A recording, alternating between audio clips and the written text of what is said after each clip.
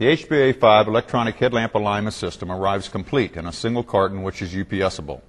Package includes all required components with instruction manual for assembly and operation. A comprehensive one-year warranty accompanies the system. Optional dust cover can be ordered from your local distributor. During assembly, make sure that the mast rotational bearing is mounted on the mast stud first. Insert the mast stud into the base and place the stainless steel flat washer and self-locking nut on the stud. When tightening the mast self-locking nut, tighten the nut until no rotation can be felt in the mast.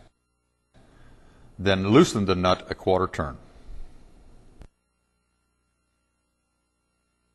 On the front eccentric axle, a small scribe mark has been placed on the axle at manufacture. When installing, align this scribe mark with the arrow on the base and secure tightly. Calibration of the alignment mirror must be performed at time of assembly. While standing behind the unit, rotate the mirror until the mirror calibration points on the top, located at the front of the optical head, can be seen in the mirror. Loosen the mirror mounting screws on top of the mast and rotate the mirror mount until the calibration points are intersected by the line on the mirror. Tighten the mounting screws. The floor slope laser is calibrated at the factory. No further adjustment is required. Place the laser on the optical head with the position pin in the hole provided and the rear set screw cradled in the indent.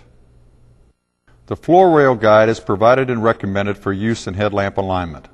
The floor slope measurement must be performed with the unit positioned on the floor rail guide.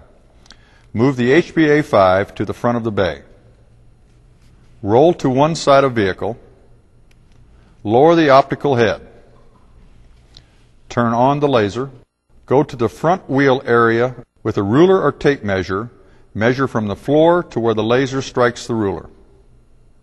Go to the rear wheel area and repeat the process. If the measurements do not match, adjust the rear eccentric wheel until both measurements are equal. Record the reading of the eccentric wheel on the floor slope registry. To align headlamps, roll the unit to the center of the vehicle. Set the floor slope by rotating the rear eccentric axle. Rotate the mirror until the vehicle can be observed.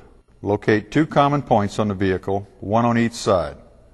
Rotate the optical head until the line on the mirror intersects the two selected points. Turn the headlamps on to low beam. Low beam is used for alignment as this is the primary driving lamp. Press the on select button and the system will activate in position check mode, battery check mode. Meter only registers battery charge in this mode. Battery should register in the green scale for optimum performance. Watching the arrows, move the optical head left or right in the direction of lit arrows. Up or down in direction of lit arrows until the green light is lit. Press on select button until LED is lit next to low beam. System automatically switches to audit mode, which is a plus or minus 4 inch window. Observe adjustment arrows. If green light is lit, no further action is required. If one or more red arrows are lit, adjust lamp in direction of arrows until green light is lit. The meter during headlamp adjustment measures the intensity of the headlamp. The meter can also be used to detect if adjustment is being made in the correct direction. A rising meter means right direction. A decreasing meter means wrong direction. For finer adjustment, press adjustment selection button to select fine adjustment, a plus or minus one inch window. Adjust headlamp in direction of arrows until green light is lit. Roll the unit to the next lamp to be aligned and repeat the aiming procedure. Thank you for selecting the Symtech HBA5 for your headlamp alignment needs.